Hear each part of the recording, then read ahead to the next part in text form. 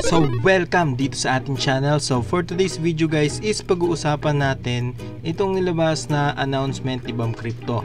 Pero bago ang lahat, i-like, share, and subscribe nyo ang video natin para maging updated kayo sa mga future uploads natin. So, let's start!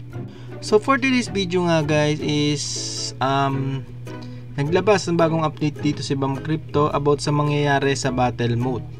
So, kung gusto niyo makita guys, yung announce, yung nilabas na update ni Bam Crypto, punta kayo dito sa Discord. Announcement, click nyo, then makikita nyo dito sa pinakababa. Baka kasi minsan nandito hindi nyo makita, baba nyo lang yan. So, naglabas nga sila ng some hints about battle mode. So, ano nga, parang naglabas sila dito kung ano nga ba yung mga mangyayari sa battle mode sa BAM Crypto, no? So, naglabas sila dito. And then sa YouTube, makikita nyo rin guys, puntahan nyo na lang yung parang magiging itsura nung um, battle mode.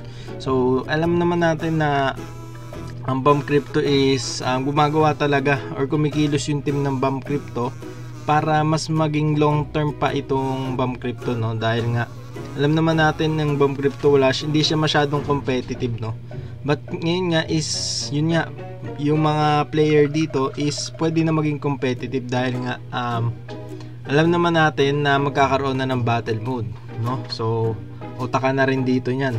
Kung magaling ka nung bata ka nung naglalaro ka ng Bomberman, so siguro ma-apply mo yan dito, no? So, napakaganda niyan. So, dito makikita natin guys is dito makikita natin new challenge with the high standards of skill. So, yan, kailangan na nga natin um, maging competitive tayo dito para mag-earn din tayo ng Bitcoin, no? So, Next naman, make your moves to disable your opponents and claim your victory.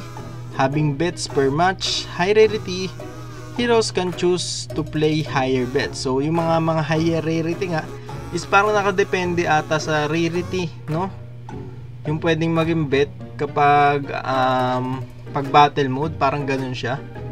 So, for example, ang pwedeng palun mga 30 siguro And, pero hindi ako sure guys kung ano yung pinaka ano nyo. For example lang natin sa high rarity, 30. Pag sa low rarity lang naman, nasa 10. Parang ganun yung mangyayari guys. So, next naman the winner will get the loser bet Bitcoin. So, parang mangyayari dito, once sa matalo ka, yung binet nyo doon, is makukuha nung um, kalaban mo.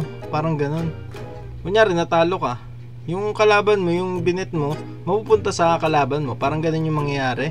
Participants with different amounts of points be slotted into the different ranks and able to receive rewards when the match ends. So, yun nga.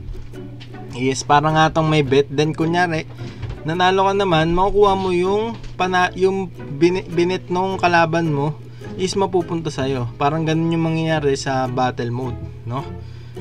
Oh, next and especially ROI 300 will not be limited to any rewards in this PvP feature as long as user who own heroes have variety heroes that can fight and collect more bitcoins for themselves. Take advantage of opening box while price is still low now to own high rarity heroes and prepared for the epic battle mode future. So, coming soon on April 2022. So, lalabas nga to guys is sa April 2022 hindi natin alam kung first week, second week, third week no? Hindi pa natin alam but maging ready na tayo guys no?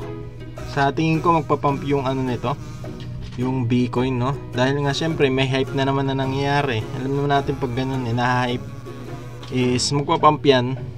Pero hindi natin alam sana bumalik sa 1 dollar. Pero yun makikita natin dito guys may sneak peek sila. Panoorin natin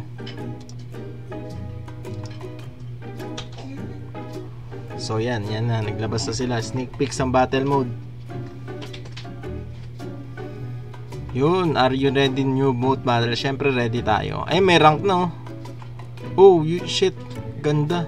30 Bitcoin. Uy, may upgrade reward, huge rewards oh. May pwedeng maklaim ka. Tapos may iba't ibang lugar. PVP na guys. Ah, excited na ako mag PVP. Gusto mandurog dito guys. So yun nga yung nakalagay sa YouTube nila.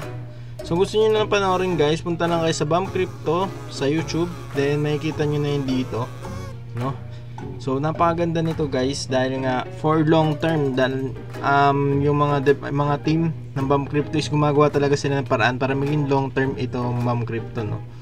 And then, tayo naman mga players, syempre, supportahan pa rin natin yung Bomb Crypto.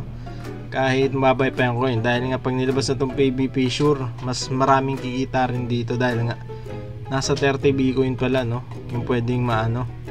So napaganda nito guys. So yun nga kung may tanong kayo guys um, comment lang kayo dyan sa comment section natin then sasagutin natin yan. So yun lang guys. Sana may na-share ako sa inyo may natulong sa inyo. And then wag nyo kakalimutan i subscribe yung ating channel then yung notification bell para maging updated kayo sa mga future uploads natin. So yun lang guys. Maraming salamat sa inyo and God bless